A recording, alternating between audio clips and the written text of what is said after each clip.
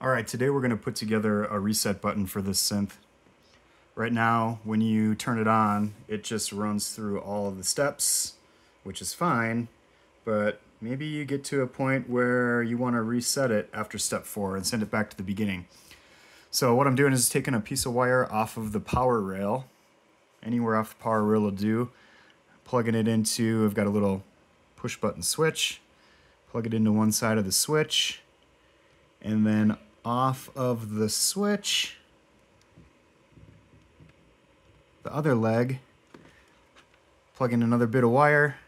and this is going to go over to the reset pin on the 4017 IC. Let's turn it on and see if it works.